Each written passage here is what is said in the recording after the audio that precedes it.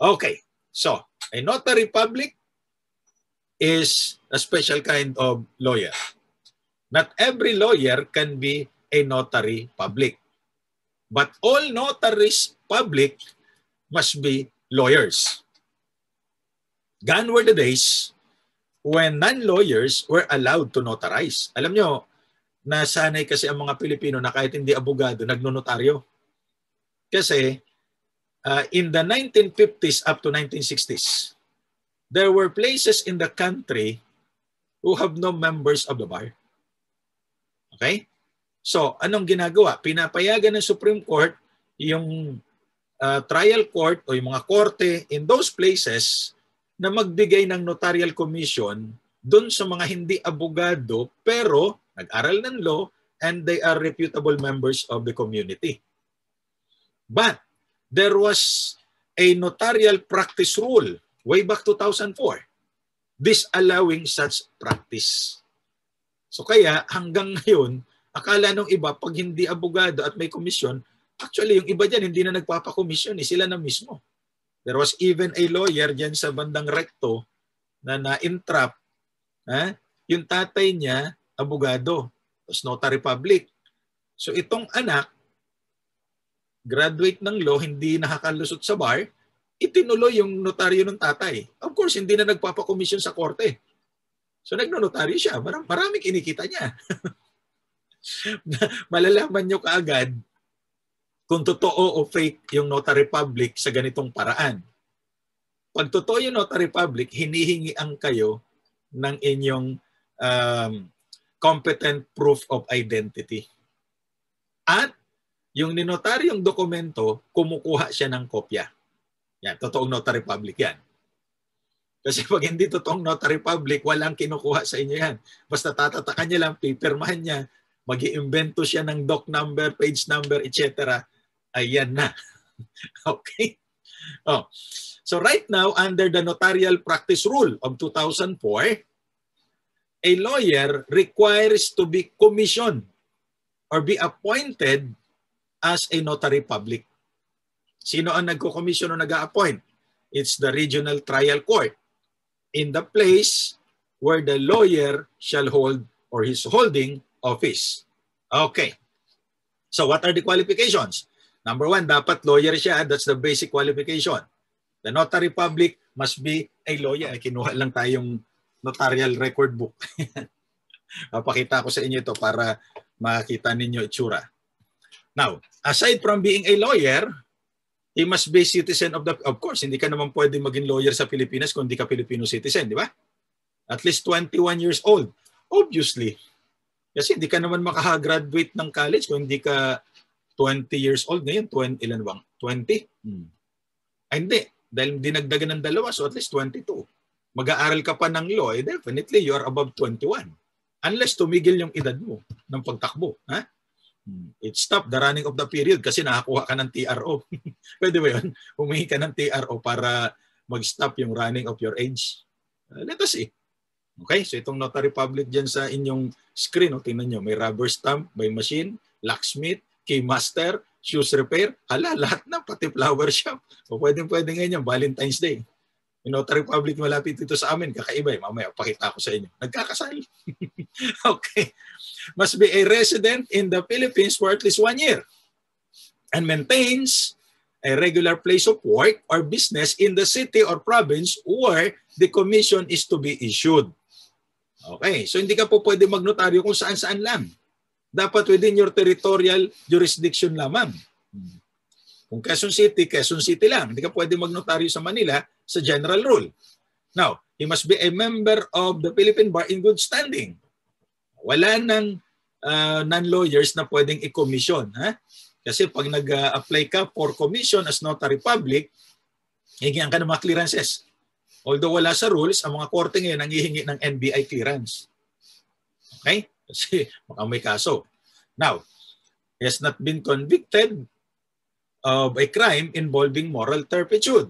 So this is uh, the basis why courts today are asking for an NBI clearance at least. Okay? Then of course, ang term ng notary public under the 2004 Notarial Practice Rule, ito na yung dinidiscuss natin, ha, yung 2004 Notarial Practice Rule, yan na ang governing rule ngayon, ay two years, commencing on the first day of January in which the commissioning is made. Well, unless revoked earlier, no? So two years. Kaya makikita ninyo dun sa dulo ng mga ninotaryong dokumento, nakalagay di ba until December 31 kung kailan siya mag expire yung notarial commission. Okay? Napansin niya, pagka nagnonotaryo ang isang notary public, yung dokumento nakalagay, pakita ko kayo na sample. Yan, dali lang. Magbubuksan natin ang ating kaba ng kayamanan. Yung mga notarized documents, ayan o, oh, dun sa dulo, nakalagay until December 31, 2021. Yun. So yun ang expiration. Now, paano ang pagbilang ng 2 years? Hindi ito katulad ng pagbilang ng 2 years sa Civil Code Article 13. So assuming yung notary public nag-apply ng commission kasi ang dami mga dokumento niyan eh. Una, yung MCLE compliance mo or exemption, yung record mo sa bar, hindi naman yung grade, kundi yung certificate of admission to the bar, clearance ng mag, napakaraming clearances. clearance sa IBP, local chapter, national chapter, at saka sa Office of Bar Confident. So inabot ng June, June 2021, saka siya nakapag-submit o nakapag-file ng kanyang application as notary public. Lumabas yung kanyang commission, palagay natin July or August. So August na, August 2021. Kailan matatapos yung kanyang commission? until December 31, 2022. Sabi niya, teka muna, less than 2 years yun na. Yes, kasi it begins on the first day of January. Eh di lugi siya kasi August na, di ba? Pero magre-retroact sa January 1, 2021. Eh ganun talaga ang rules eh. So tinanong ito ng 2012 bar exam, ha? Two years, but it should retroact on the first day of January of the year where the commissioning was made. So kung inisyo ang commission niya August 2021, mag-expire ito December 31, 2022. So parang lumalabas one year and a half lang. Yes, kasi nag-retroact sa January. O, kaya pagka mag-apply kayo November na. Eh, kaya lang, pag inisyo ng judge ng December, lugin-lugi kayo. So kaya mas maganda, mag-apply kayo December na para hindi na yan ma-action. December, magpapasko na eh. So kung January na yan ma-issue, January, 20, uh, January 2022, okay lang. Di ba? Kasi January. So mag expire yan January, uh, uh, December 31, 2023. So at least 2 years yan. Kasi ang 2 years magsisimula sa January 1. So hindi yung pagbilang sa civil code that the first day excluded, the last day included. Hindi ganun. Okay? So pag inisyo sa iyo ng August 2021, one year na kaagad yon Hanggang December 31, 2022. Kasi 21, 22. Maliwanag. Ngayon, what are the powers of the notary public? He is empowered to do the following acts. Acknowledgement. Ang acknowledgement ay inilalagay sa mga kontrata. Ano ba nakalagay sa acknowledgement? Oy, sinasama ito sa practical exercises ninyo ha.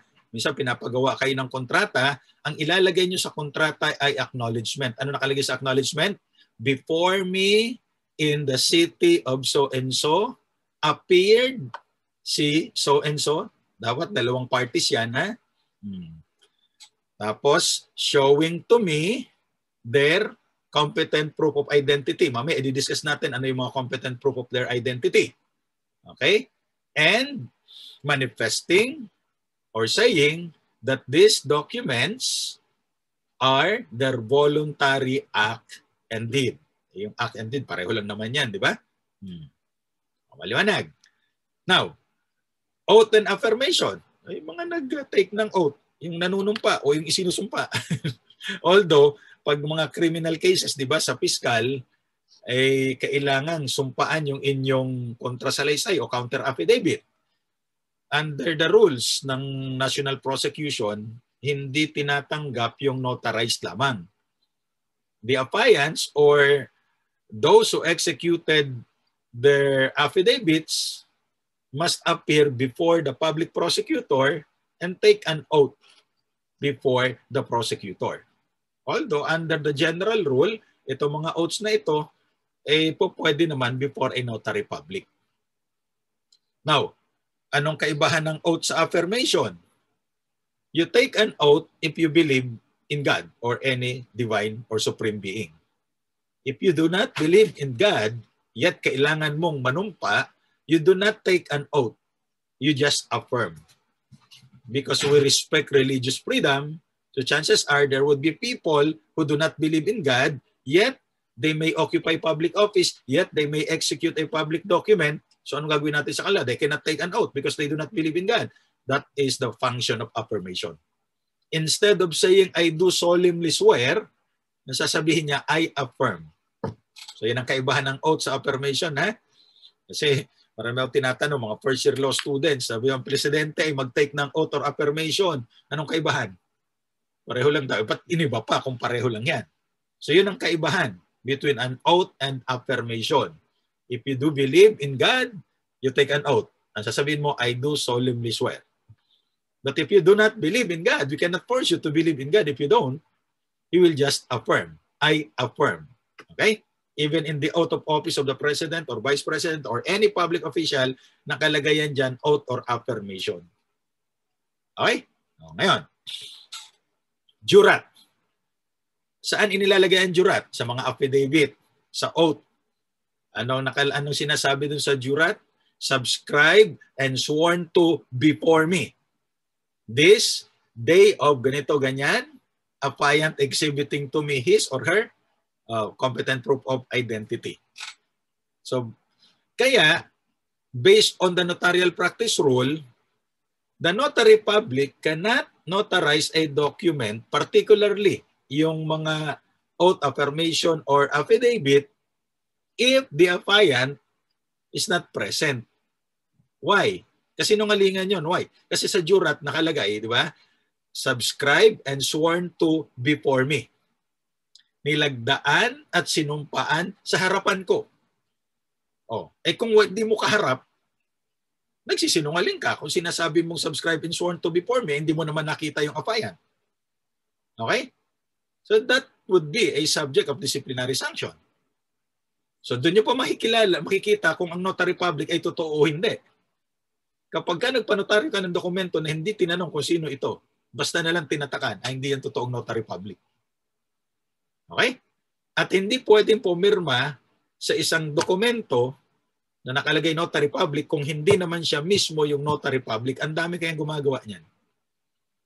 Okay? Kung maghihigpit ang Supreme Court yan, naku, ang daming mahuhuli. Tuturo ko yung iba. okay. Signature witnessing, copy certifications, any other act authorized by the rules. When we say rules, the rules of court or the notarial practice rule. Okay?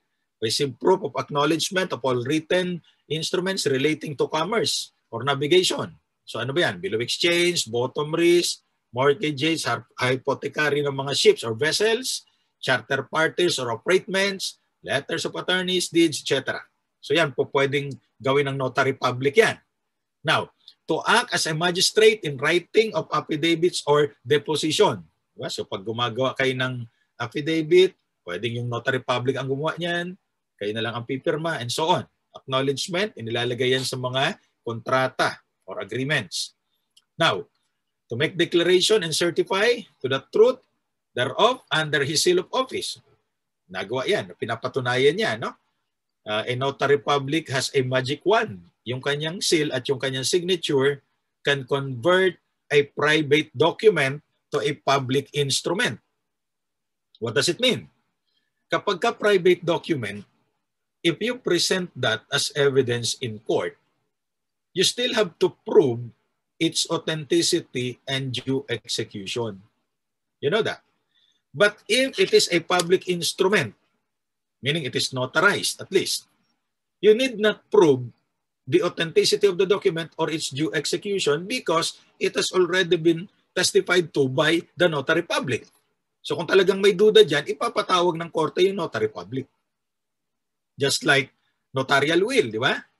So kung yung notarial will na ito may problema during probate, ang tatawagin natin yung nagnotaryo. Nasaan na si notary public? O patunayan mo. Bakit mo ni notaryo yan? May problema pala. So siya mananagot. Okay? So that's the power of the notary public. Eh kaya lang, na-degrade ang uh, reputation ng mga notary public kasi noon, sa ilalim ng LRT, sa ilalim ng puno, may typewriter lang, nagnonotaryo. diba? Kasi typewriter pa ang gamit, pero bang ganun ngayon? Hmm. Diba? Kaya mababa ang tingin ng tao sa mga notary public. Hmm. Ngayon, to administer oath. Diba? Sabi ni Pinoy noon, hindi siya mag-take ng oath before the Chief Justice. Naging presidente siya noong 2010. Pwede ba ang sa notary public na lang? Pwede. Pwede siya mag-administer ng oath eh. Okay, ito yung notary public malapit sa amin. O, tingnan nyo, may carwash na, notary public sa ilalim, nagkakasal. pwede ba magkasal ang notary public? Hindi pwede. O yan, tawagan nyo, tanong nyo kung nagkakasal talaga siya. Yan yung number. okay. Ganda, no? Now, may mga prohibition tayo under the notarial practice rule. A notary public shall not perform a notarial act outside his regular place of work or business. Kasi nga, magpapakomission siya kung saan siya nag-hold ng kanyang office. So in my case, I am a commissioned notary public, but in uh, Rizal Province, particularly Binangonan, Angono, Taytay, at Kainta. Sa, ay, hindi, may sarili ang Kainta, so hindi pwede ron. Yon. So doon lang sa lugar na yon. I cannot notarize documents outside of that jurisdiction. Okay. The jurisdiction of a notary public in the city of Manila, sa Manila lang. Eh kasi napakaraming tao sa Manila eh. Although ngayon, mas marami ang population ng Quezon City kaysa Manila. Pero titingnan nyo yung chapter, kasi yung chapter ng IBP, it uh, refers to the number of lawyers. Sa Manila, may Manila 3 yata. So 3 chapters ang Manila. Pero sa Quezon City, isa lang. Sa dami ng lawyers, no? Okay. So a notary public commissioned by the RTC of Manila cannot notarize as a general rule a document outside the city of Manila. Sa Manila lang siya. Okay? No notary public shall possess authority to do any notarial act beyond the limits of his territorial jurisdiction. Kaya nga nakalagay din before me in the city of, may kita nyo rin yan kapag ka may notarial document, no? Doon sa taas, Republic of the Philippines, yung siliset na tinatawag, hmm. nakalagay doon sa ilalim ng Republic of the Philippines yung city or municipality kung saan may jurisdiction yung notary public. Okay? So ngayon, nakalagay doon Quezon City. Ay hindi ko pwedeng inotaryo yan kasi I am not I commission notary public in Quezon City. So iibahin natin yan. Or sa Quezon City ka magpanotaryo. Ngayon, may mga exceptions tayo sa general rule on territorial jurisdiction. A notarial act may be performed at the request of the parties. Ha? Yung nagpapanotaryo sa iyo, baka sabihin, eh, kahit na outside your territorial jurisdiction, pwede ba inotaryo naman ninyo? Number one, during uh, convention, uh, sa mga public offices, convention halls, or places where oaths of office may be administered. Nag, nag-appear ako, for example, in Quezon City sa RTC, eh may gusto magpanotaryo, pwede kong gawin yan doon sa Quezon City Hall. Pero, meron ba namang notary public na dala-dala niya yung kanyang seal? Bigat kaya ang notarial seal. Di ba? Mahirap dalhin yan. Hmm. So, but that is an exemption. Sa mga public place, uh, offices, convention halls, public function areas in hotels. Oh, pwede pala. Kaya yung iba, ang opisina doon sa hotel. or similar places for the signing of instruments or documents requiring notarization. Exceptions lang ito, hindi yan ang general rule. The general rule is you notarize documents within your territorial jurisdiction. Tinan niyo notary public na ito, no? ganda ng table niya at may typewriter lang siya. Meron pa bang ganyan ngayon? Then of course, hospitals and medical institutions. Kasi baka yung affiant ay naka-confine sa hospital, eh pwedeng yung notary public na kung mabait siya, pupunta siya doon sa hospital dahil hindi pwedeng lumabas yung affiant eh. Okay, so kahit na ito ay outside of his territorial jurisdiction, pwede. Then, any place where a party to the instrument requiring uh, notarization is under detention. O, kung may kliyente ka na kailangan mag mag-execute uh, ng affidavit pero nakakulong sa ibang lugar, kliyente mo siya, pwede mong inotarize dahil detention, hindi naman siya pwedeng palabasin eh. So ikaw na ang pupunta dun sa detention center. Pwede yan. Okay? As an exception. Now, what are the prohibited notarial acts? The person involved as signatory to the instrument or document, number one, is not in the notary's presence at the time of the notarization. Okay? So, in other words, wala dito sa harapan niya. Why? Lalo na dun sa mga jurat, ano?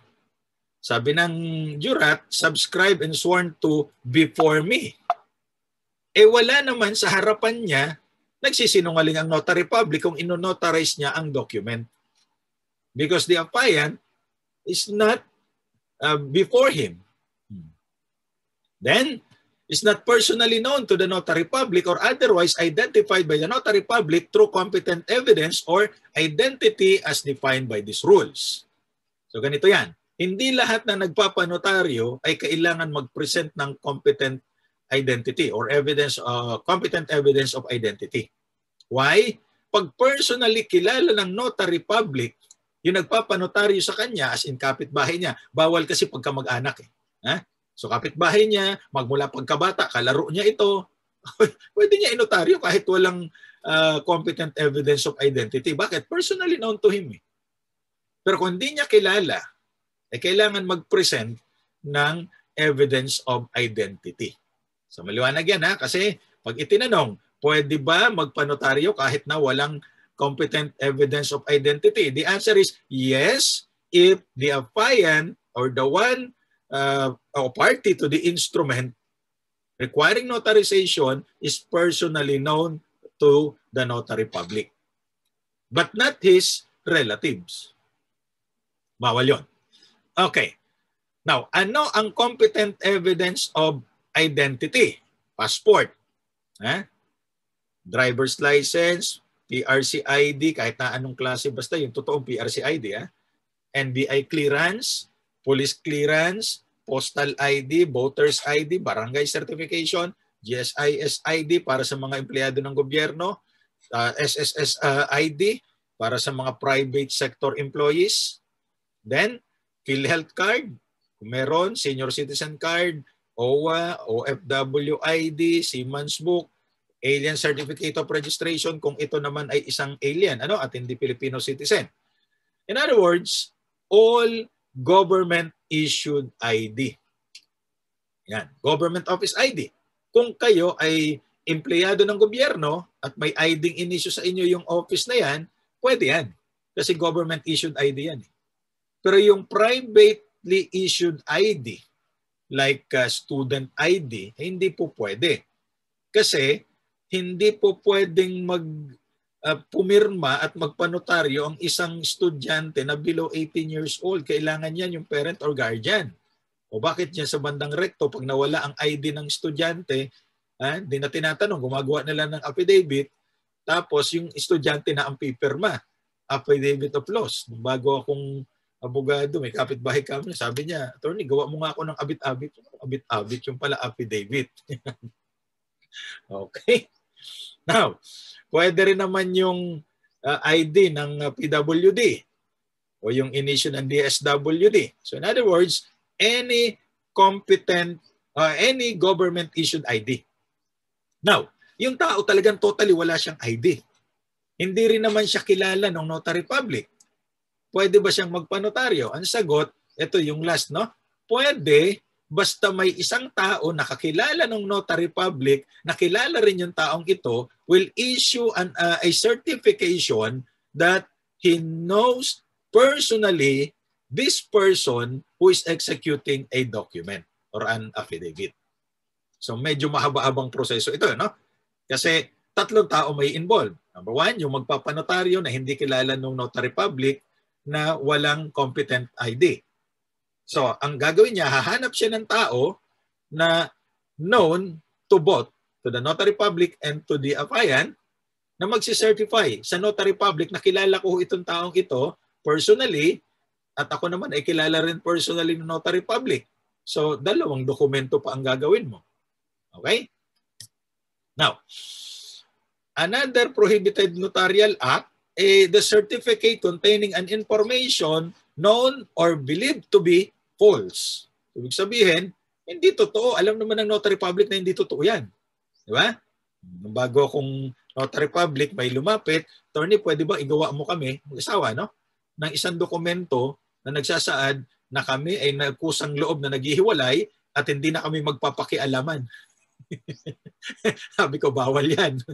Hindi tayo gumagawa ng, notar, ng, uh, ng dokumentong ganyan at inunotaryo ko pa. Ay, bawal yan. Okay? Sabi niya, bakit doon sa kabilang law office? Eh, dito na lang ho kayo magpagawa. pwede pala doon eh. Di ba? O, bawal yan. Hindi po pwede.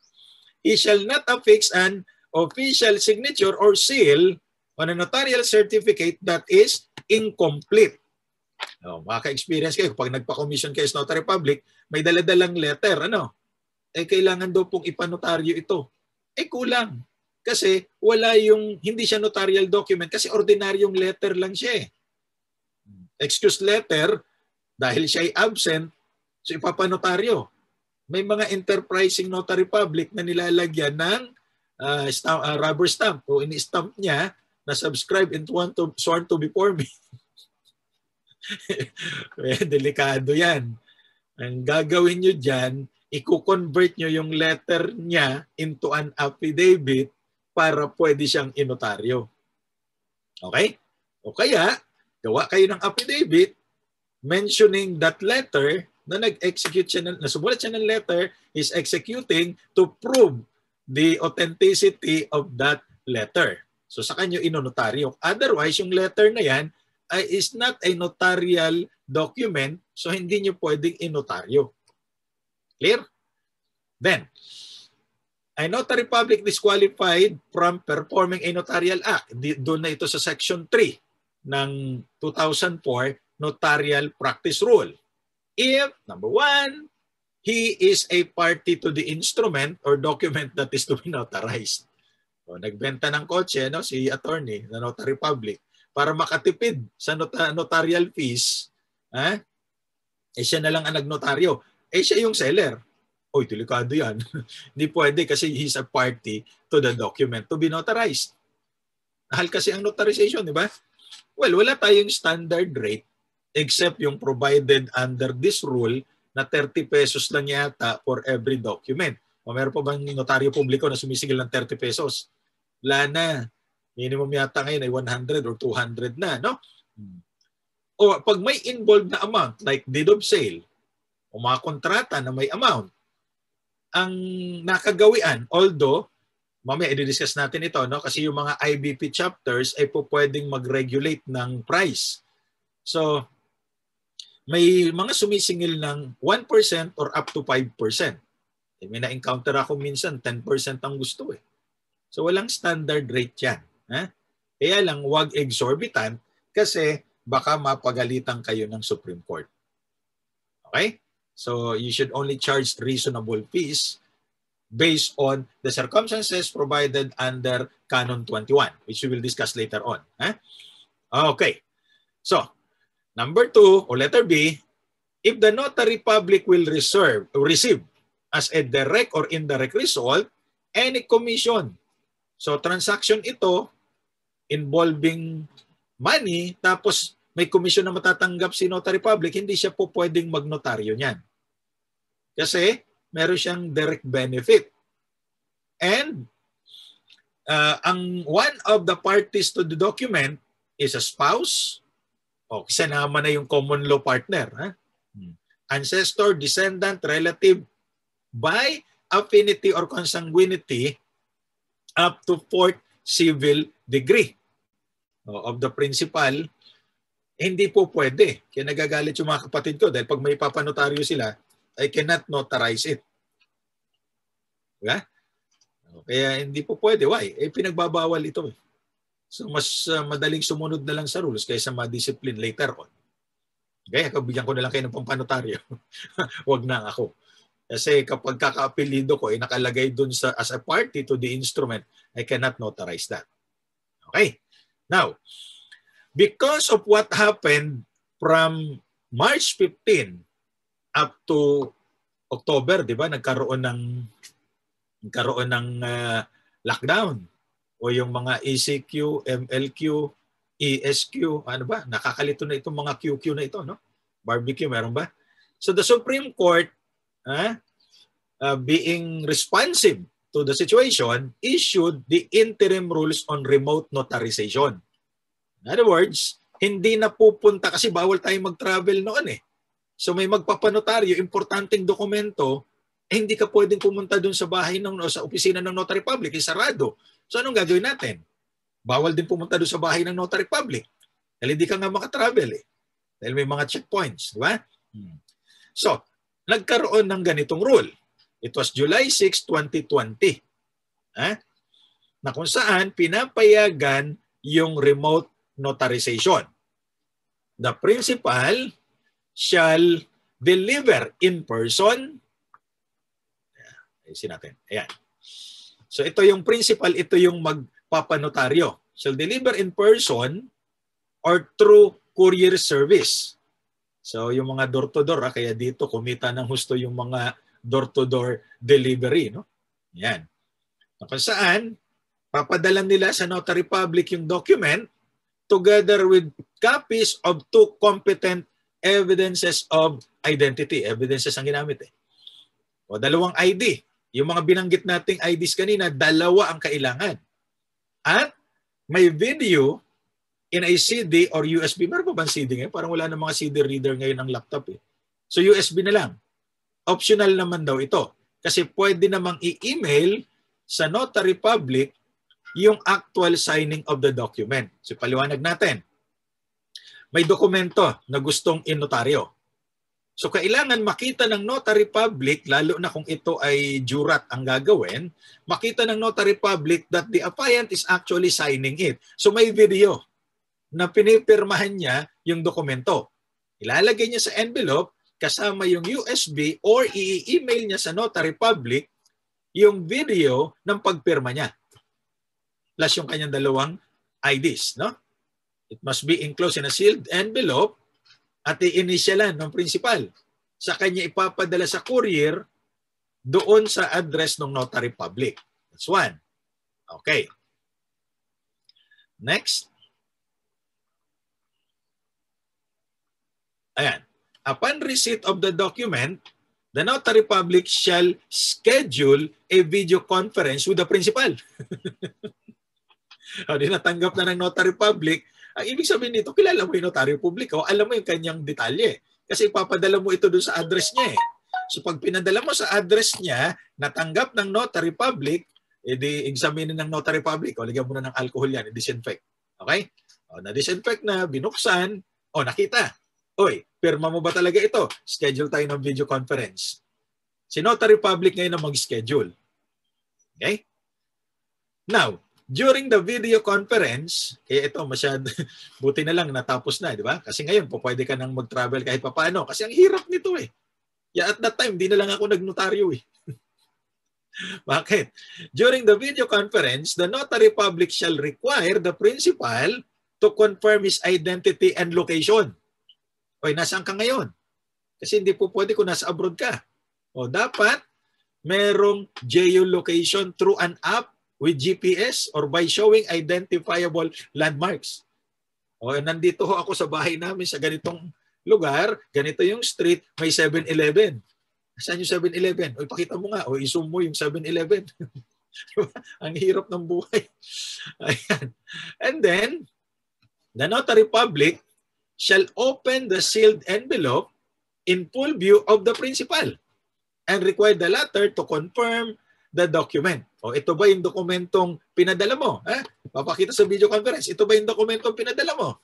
Sabi nung kausap niya yung principal, opo, yan nga po yun. Okay. O di sige, ayos na tayo. Now, thereafter, the notary public shall also require the principal to confirm that he has, that he has read the document in its entirety and has understood all its content. O ito ba ay Ginawa mo voluntarily? Wala bang nanutok sa iyo nung ginawa mo itong dokumentong ito? Ha? Opo. Okay, so pasado na. Ngayon, likewise, the notary public shall require the principal to affix his handwritten signature on a blank piece of paper within full view for comparison with the signature. O sige nga, ito ba ipirma mo? Opo. O sige, pumirma ka dyan ng isang blankong dokumento. Pakita mo sa akin na pinipirmahan mo yan. O, pinirmahan yung blank paper. O itaas mo. Pag-compare natin. O pareho? Pareho. Okay. So, seven. The principal will also be asked to confirm that the signature appearing at the end of the document belongs to him and it was voluntarily affixed for the purposes stated therein. So may pirma ka dito sa dokumentong ito, kinompare natin, pareho nung pinirma mo sa blank paper na hawak mo ngayon. Ito ba, pirma mo talaga? At hindi ka ba pinilit na ipirma mo ito? Opo. Edi, ayos. Number 8, 7. Pasado. Now, further, the principal must avow to the true, whole truth of the contents of the document under penalty of law. Alam mo ba na kapag ka nagsinungaling ka sa inilagay mo dito, ikaw ay pwedeng makulong for perjury. Ano po yung perjury? Lying while under oath. Ano po yun? Huwag ka manunumpa kung nakahiga, kaya tumayo ka. okay? Lying while under oath is perjury.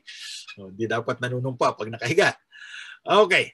Number eight, the notary public must view uh, the video clip submitted by the principal to verify he had actually signed the document. Teka nga, tingnan nga natin yung video na pinadala mo ha. Sandali lang ha, ilalagay ko lang yung USB. O ito. O, ayan. O, pumipirma ka. Ikaw ba talaga ito pumipirma? Ba't hindi ko nakikita yung mukha mo? O dapat makita ko yung mukha mo sa pagpirma mo. Haba, no? Kaya yung iba, yung magnotaryo sa haba ng prosesong ito eh. But that's the procedure according to the Supreme Court in that interim rules on not remote notarization. Okay. The notary public shall take a photo or screenshot of the video conference clearly showing all parties who participated in the notarial act. eh magsiselfie pa ako. Bakit? Kasi in the said photograph or screenshot, um, at it must be uh, public, no? Hmm. Of the notary public must be seen holding the document. So hahawakan ng notary public yung dokumento, ha? must be visible at uh, such identifiable uh, na identifiable, no? And the photograph or screenshot must bear a time and date stamp.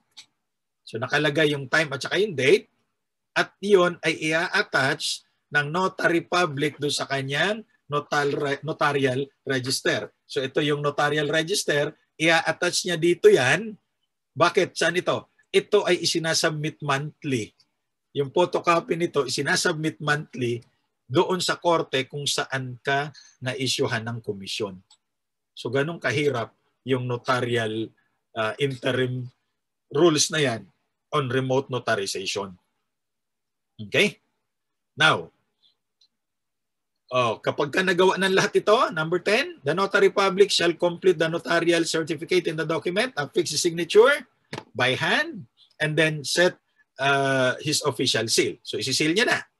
The notarial certificate shall state that the notarial act was done through the use of video conferencing facilities in accordance with the rules. Finally, the principal shall cause the retrieval of the notarized document Of course, hindi naman si Notary Public ang magbabayad ng pagsisend ng dokumento no? para maibalik doon sa principal. So si Notary Public naman, yung kanyang video conferencing na yan, yung mga pinicturan niya, ipiprint niya lahat yan. Di ang hirap.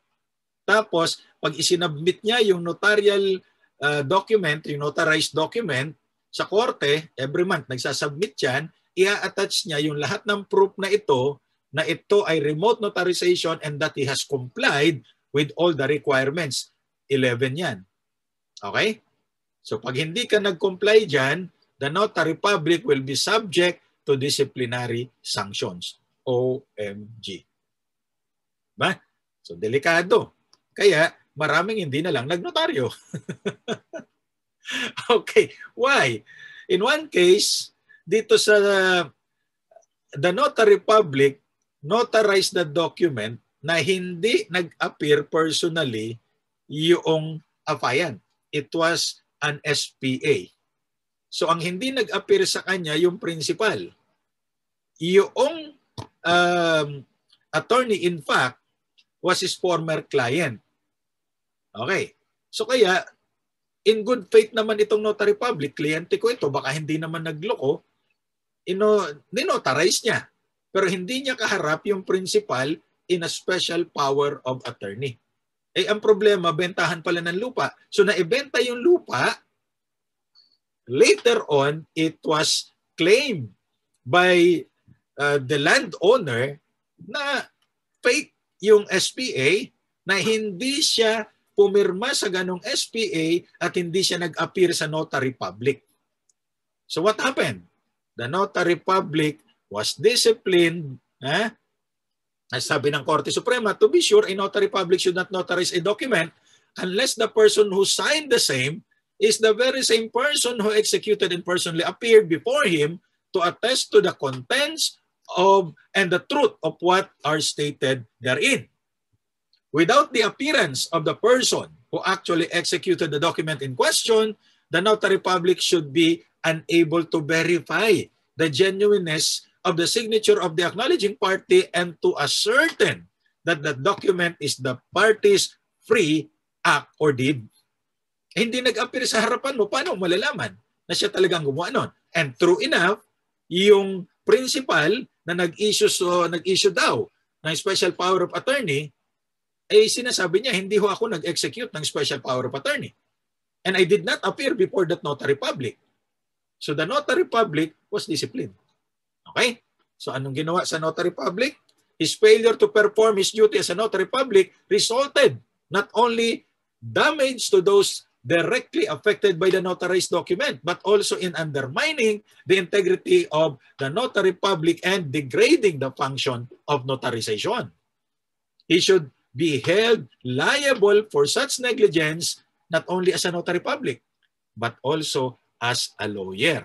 So kaya itong lawyer na ito ha, was found guilty of breach of 2004 notarial practice rule and his commission as notary public was revoked. At pinagbawalan siya na ma-issuehan ng uh, commission for two years. Pero ang masaklap dito, he was suspended from the practice of law for one year. Dalawa kasi ang liability ng isang notary public. Yung obligasyon niya as a lawyer first and second as a notary public. Yung ma-revoke yung kanyang commission at ma-prevent siya from being issued another commission for two years, medyo magaanggaan yan. Kasi kung hindi ka naman full-time nagnonotaryo. Pero sayang yan kasi extra income yan. Ang problema, he was also suspended for one year as a lawyer. Yan ang malupit. Di ba? So kaya, mag-ingat. Hindi basta-basta nag-notarian document. Sabi, marami naman diyang gumagawa niyan. Eh marami nga. Eh, paano pag ikaw naman ay na-tsempuhan? Di ba? Madaling mag-ingat kaysa magsisi. Always remember that. And the lawyer was warned that a repetition of the same or similar acts in the future shall be dealt with more severely. Okay? Maliwanag.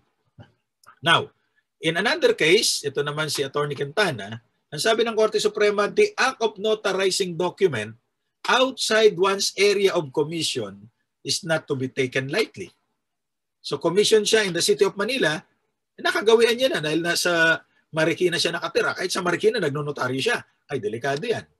Kasi kung ang commission mo sa Manila, dahil doon ang office mo, doon ka lang pwede magnotaryo. Exclusive yan unless warranted by the situation belonging to the exceptions na binanggit natin kanina. So take note of those exceptions. Okay?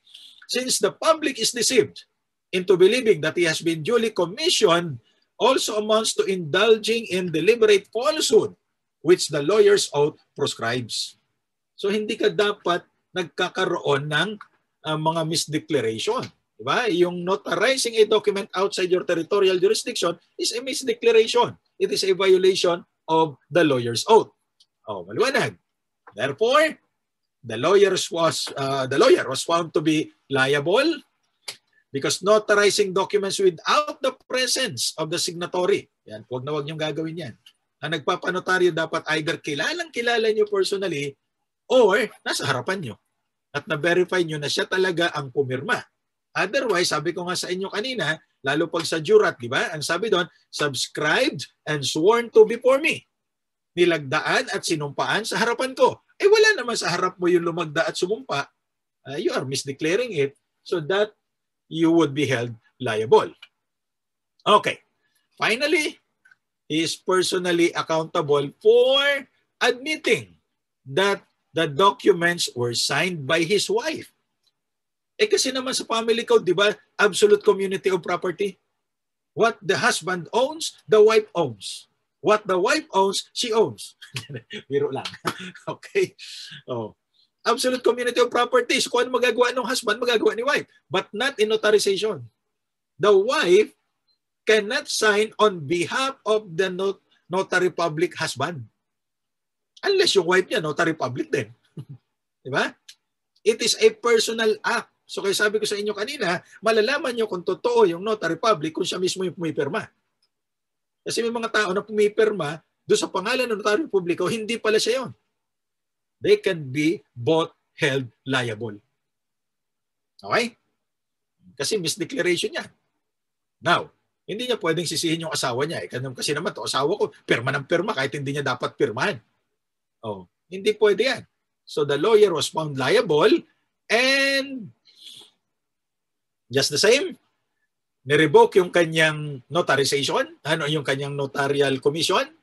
He was prevented from being commissioned as a notary public for two years and suspended from the practice of law for six months. Okay? Yan. Maliwanag ha? So dalawa talaga ang liability ng notary public as a notary public and as a lawyer. Kaya yung iba ayaw na magnotaryo eh. Okay. Now, it must be stressed that a notary public, like respondent herein, will certify that a person acknowledging the instrument or document is known to him. And that he is the same person who executed it and acknowledge that the same is his free act and deed. So paano mo ito mapapatunayan kung hindi mo kaharap yung tao? So kung dalawa yung parties dito, like in a contract, dapat both parties must be present. At lalo mag-ingat kayo sa special power of attorney. Ha? Kailangan parehong present yan.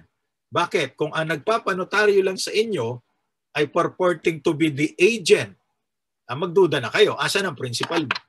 Diba? Kasi alam nyo, nasa Pilipinas tayo, maraming namimeke. Lahat pinifake yan. Kaya nga parang wala nang visa itong mga visa natin. Ano? So para makasiguro kayo, make sure nakilala nyo yung mga affiants, the parties to the instrument. Madali mag-ingat kaysa magsisave. Prevention is better than cure. Always remember that. In case of doubt, don't.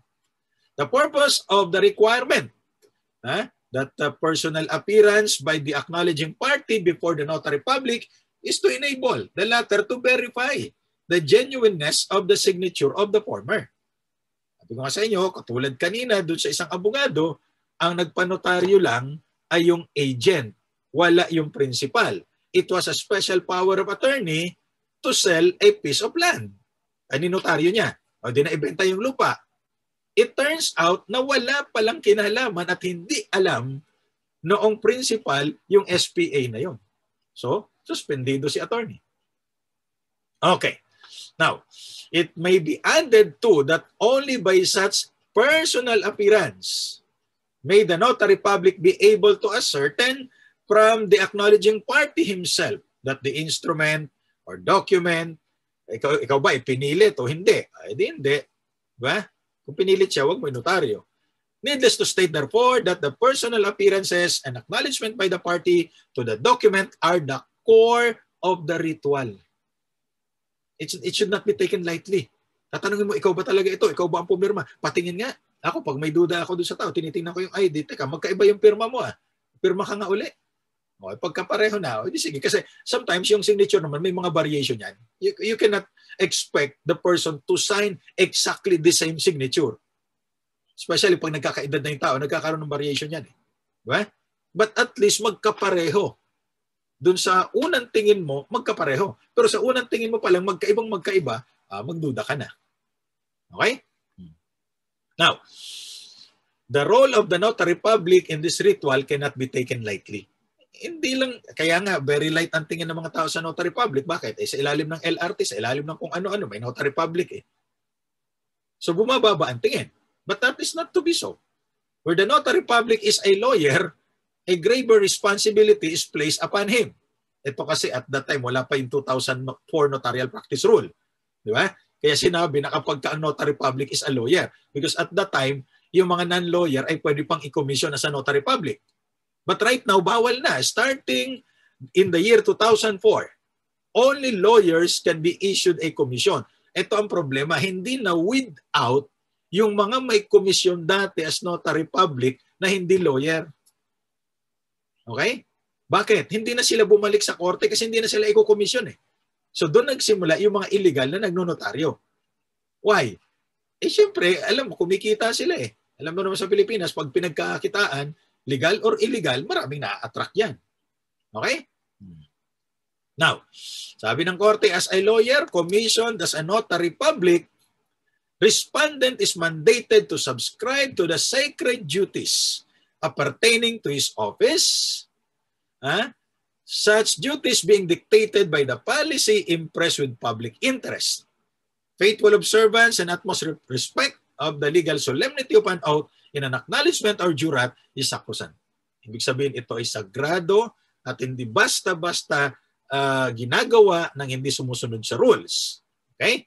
Simply put, such responsibility is incumbent upon uh, and failure therein, he must now accept the uh, commensurate consequences of his professional indiscretion by his effrontery of notarizing a fictitious or spurious document, he has made a mockery of the solemnity of the oath in an acknowledgement.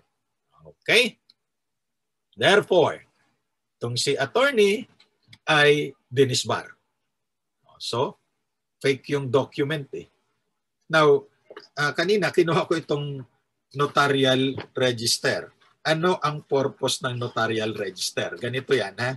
Sana makita ninyo sa screen. So ito, binibili ito sa korte o sa Supreme Court. Ha? Nakalagay notarial register. Based ito dun sa Notarial Practice Rule of 2004. So ito yung unang page, nakalagay yung pangalan ng notary public, yung address niya, yung official receipt. Kasi may resibo yan pag binili ninyo. And then, I hereby certify that there are 106 pages. So 106 pages ito, no? Nakalagay yung date kung kailan binili. Now, yung page 1, ah, page 1, yun na yun. Yung nakalagay yung uh, sold to, pangalan ng notary public. Yung page 2, ayan, kung makikita ninyo, diyan nagsisimula yung ilalagay na ninyo. Ito yung pangalan ng notary public. Ha? English and Filipino yan. Saang lugar ka na commission, lalagay mo doon. Tapos yung kasunod, ha? appointment made on the, yung date of appointment, ayan, until December 31, kailan yung expiration ilalagay mo rin. Importante yan. For every document that you notarize, ito nakalagay, document number. So, kung ito yung kauna-unahan mong notarial record book, this is book 1. Okay? So, book 1, page 2, document number. Okay? Kasi nakalagay doon sa sa dinotaryo nating mga papel, di ba? So, papakita ko sa inyo ang isang sample ng dokumento. Okay. So you have here, this is affidavit, no? Affidavit. So nakalagay dyan, uh, document number, page number, book number, series of. Okay, tapos nandun sa kabila yung signature ng notary public. So ganito yan. Ito, yung page number. May kita nyo doon sa upper right-hand corner. Nandun ang page number. Kung ito yung kauna-unahan ninyong notarial record book, this is book 1. So nakalagay doon document number. Uh, di ano yung document number? Ito. Pang ilang dokumento na yan. So may mga fill upan kayong blanks dito including anong type of document yan, anong title, sino yung affiant yan, ano yung address niya, competent evidence of identity, uh, date of notarization, kailangan chronological order yan ha. Hindi kayo pwedeng pasingit-singit kasi may number kayong sinusunod. Okay. Tapos type of notarial act, either jurat or acknowledgement. Okay? So yan. So dito yung uh, document number one, page number, and so on. for every page, you can only input five documents. So five documents lang yan. So one, two, three, four, five. Okay? That's on page 2. Ngayon, pag nakompleto nyo yung five documents, page 3. So tuloy-tuloy yun. 6, 7, 8, 9, 10. Hanggang sa matapos ninyo up to page 106. Ayan. Asa na? Ayan, page 106. Nakikita nyo? Ayan, page 106. So, ayan, hanggang dyan. So, kung ilang dokumento ang kasya, yun yun. Tapos may signature kayo sa baba. Now, ang gagawin ninyo, required ito ng Notarial Practice Rule of 2004 that you have to photocopy all the documents that you have notarized. Okay? At ipo-photocopy nyo rin ito, itong notarial record book ninyo. Every month, you have to submit to the court which issued your commission eh, the photocopies of your notarized documents plus photocopy of your notarial register. Okay? Noong 2004, ah, 2005, when I was first issued a commission, nagkaubusan ng notarial record book. So kaya yung korte doon sa Binangonan na nag-issue ng aking commission, pinayagan kami na sundin namin yung format na ibinigay. So not necessarily ganito. Kasi walang ganito eh. So it was late in 2005 na nakabili ng ganito. But ngayon, marami nang available niyan eh. How much is one of this? I think more than a thousand. Ang isang notarial record book. So isang ganito, isang book. So kung nakailang ganito ka na, ganong karami yung book number doon sa document. Kaya para matrace mo, matrace ng korte kung totoo yung notary public na yan. So yung iba, nag iimbento ng kung ano-anong number. Hindi iniimbento yan. Ha? Yan ay uh, dapat continuous. Yung series kung anong taon. So chances are, katulad ko, hindi naman ako talaga full-time nagnotaryo. Yung isang record book na ganito, inabot ng tatlong taon. So mananatili kang book 1, iibahin mo lang yung series. Okay? Kasi yung series na yan pertains to the year kung kailan ka nagnotaryo ng dokumento. Ha? So I hope naintindihan kasi part yan ng inyong practical exercises. Okay? May practical exercises kayo based on the syllabus. So, legal ethics, tapos may practical exercises, judicial ethics, may practical exercises din. And I think maya-maya meron kayong judicial ethics naman. Okay? So, liwanag. Sabi natin, hindi po pwedeng mag-notaryo ang isang notary public up to fourth degree of consanguinity or affinity. Pag sinabi natin consanguinity, by blood relationship yan. Pag affinity, by reason of marriage. So ito yung mga degrees of relationship that you can now see on your screen. So pwede nyo picturean yan para at least may guide kayo. Kasi palagi sinasabi yan, di ba? Third degree, fourth degree of consanguinity or affinity. So yan yung mga relationship na dapat yung tandaan. Pag fourth degree, kasama din yung pinsang buo. Di ko lang alam kung meron pinsang basag, no? Eh buo eh. So ka may durog. And then of course, yung bilas. Ano ba yung bilas? Magkapatid yung uh, pareho yung asa yung asawa nyo, magkapatid. So magbilas kayo. Then inso, yan daw yung wife of an older brother.